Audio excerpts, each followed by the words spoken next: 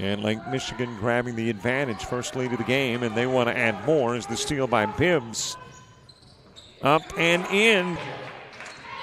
It's a seven point game. They get the ball back. Peterson off the glass. Points did a pretty nice job. So, like I said, three girls in the top figures on both sides, and you'll be pretty impressed with. Be quite the top scorer. As a matter of fact, she's three in scoring. Culmer, she is. Nakona able to get it back. Looked at the clock to see how much time she had left. Puts up the three. Want to move their career on forward, definitely. I'm sure there's coaches out there love to have those two. Stop. Thompson the steal. Here in the second.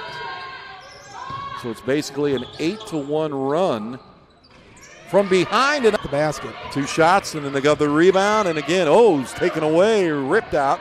Redfern turns around, sees somebody coming, slows down, puts it up off, then almost lost her step and again you worry every time she moves the wrong way the knee.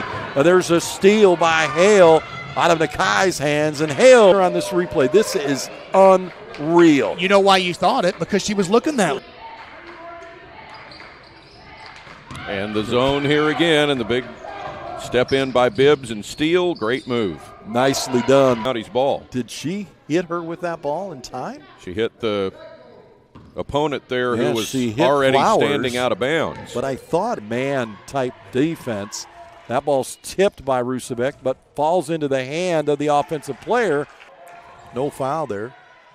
Oh, nice little dish right into the hands of Kate Rusevec. What a play! Deep. They get through. Almost over her back. Yeah, her, she, she had her back to the basket. She was just starting to turn when she flipped up. But look at this. She and she somehow she tipstones the sideline